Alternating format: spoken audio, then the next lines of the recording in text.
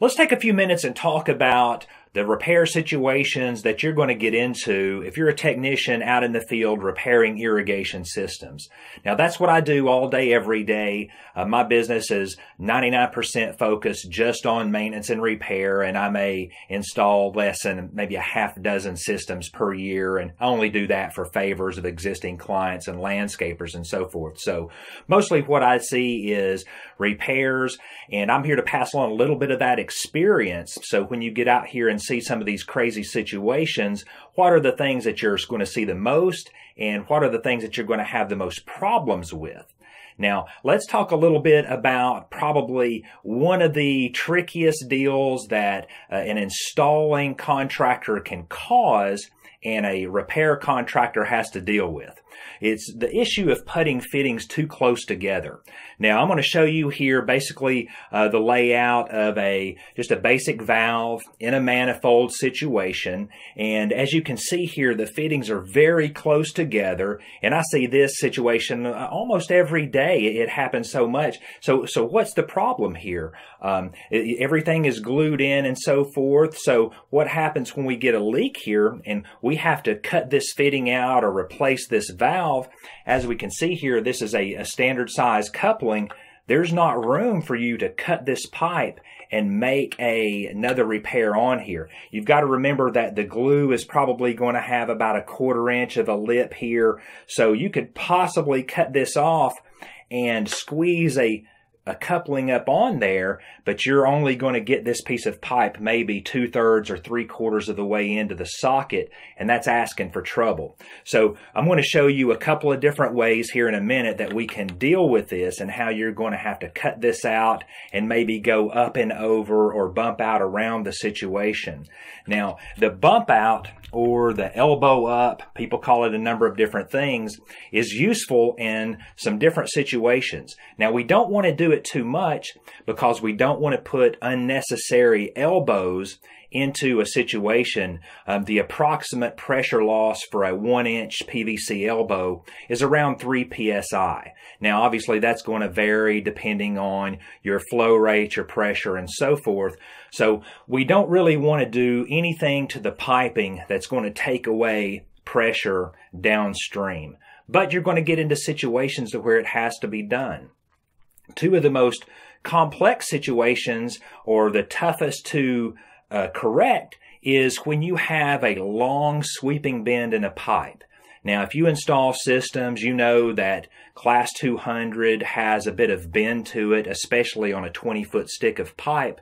And the way that these trenchers work, it's nearly impossible to get a straight line in a trench. That trench is always going to bend a little bit because normally one set of wheels or one of the tracks of the trencher is the drive and it always kind of twists you one way or another. Maybe not all trenchers are like that, but the ones that I use do. So none of the trenches I cut are ever 100% straight. So at some point, you're going to have some bend and some curve in the pipe. So if you actually have a fitting or something in that curve and you get a leak, well, you've got a problem because if you try to go in with a, an expansion repair coupling or just a regular coupling and you have to cut this in a bend and force it back together, it's almost going to guarantee that you don't get a complete seal when that goes back together. So what are our choices? Well, there's really only one thing to do and that's to use a bump out to take the pressure off of that curve. Now we've got two different situations. We've got a pipe that's bowed vertically or a pipe that's bowed horizontally. Let's take a look at this illustration here. And what this shows is a, a pipe that's bowed vertically in the ground, straight up and down. So what we have to do to relieve the pressure on that bend is we're going to have to do a horizontal bump out. So if we've got a vertical bow, then we go to the side and that straightens it out and takes the pressure off of each end. Now we've added four elbows to the equation. So that's not uh, exactly the, the best, best situation. But here in a bend, there's not a lot else that you can do.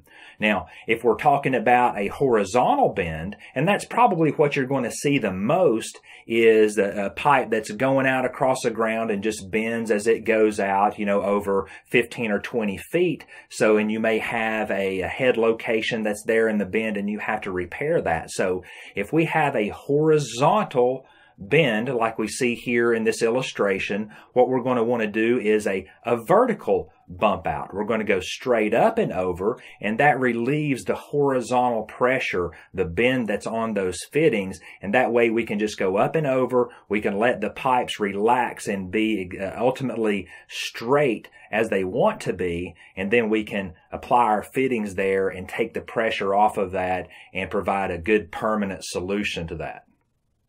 We also have some other options um, if the, the pipe in question isn't a pressurized pipe, if it isn't the main line, let's say it's just a zone line that only pressurizes up when that zone is running and it's not under constant pressure, we can use a flexible fitting here.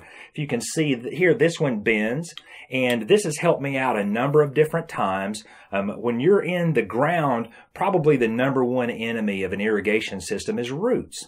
So as we go in to make repairs or even as we're installing a system, there may be a root of a tree that we just don't want to cut through. Now I cut through a lot of roots in installing a system, but sometimes you have a main root that you just don't want to compromise. And the truth is the more you harm this root system, the more that you're harming a tree or, or whatever else that we're talking about. So there's been times to where in cutting a trench and digging out, I, I've had to go up and over a root or something like that just to, or a rock will be another good situation, but just to get by it and keep the pipes as deep as we need, sometimes you need a flexible fitting for this.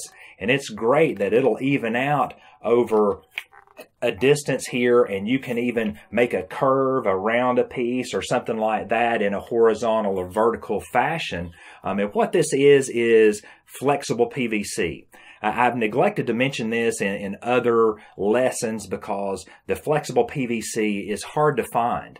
This is a pre-constructed fitting that I bought at Lowe's, which is a, a, home improvement warehouse, big box store that we have locally. And, and probably most of the people in the U.S. have the Lowe's or something similar near them. And that's where I got this. Like I said, it's pre-constructed, about seven bucks but I promise you it's worth every penny of that. And I always keep one of these on my truck just for those situations to where you don't want to be going elbow to elbow and doing some tricky bends or whatever. You can just pop this daddy in and it's really going to do a great job for you and save you some time then probably one of the most frustrating situations that you can get into in a repair is a, just a common leak on a pipe. I can't tell you the number of times, it's uncountable the number of times that I've walked up to a situation. You know, there's probably a pipe right there in the vicinity, and you see a little water bu- uh, puddle happening there. Maybe you might even see the water bubbling up in the puddle.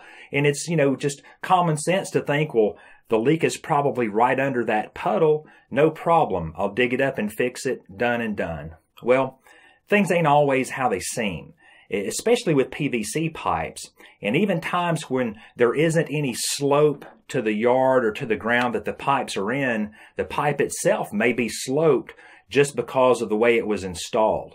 And the problem is, is that with hard ground, especially clay, when you cut a trench in it and you put the pipes in and you pack that dirt back in the trench, that dirt is never going to be as compact as the dirt around it. So if there's any tilt at all to these pipes, if there's a little small leak happening somewhere, the water may wick down the underside of the pipe downhill. There have been situations to where I've seen a puddle, tell the, homeowner, hey, no problem, I'll have that fixed for you in an hour. Uh, and then six, seven hours later, I'm still looking for the leak. Now we hope that this don't happen every time, but it's not uncommon and it's happened to me several times to where, you know, and the prices in my market and the way I price things, you know, a small leak on a single piece of PVC may be a $75 problem, but we've had situations to where it was a $750 problem. So you kind of have to be aware that this may happen and you may get tricked by this.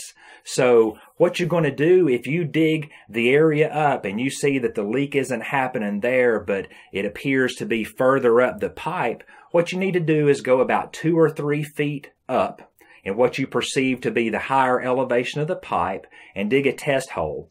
Don't just dig it down to the top of the pipe because you may not even see any water. It may be bone dry until you get down actually underneath the pipe and reach your fingers around and feel to see if there's any water that's traveling, traveling along the bottom of this pipe. Now, uh, it, it may take several test holes for you to find where there's a spot to where no water is traveling. So then you just dig up between there and your last test hole and somewhere in between there will be your leak. Um, but don't always count on things to be as they appear. Unfortunately, in this business, because 99% of everything that we deal with is underground, you're going to get tricked into some situations. And that's the purpose for this lesson, just to give you a heads up on some things that you might be aware of. And I'm sure every market has its own little idiosyncrasies that you have to watch out for. But here are the big ones, and here are the things that, in my experience, has caused me the most problems.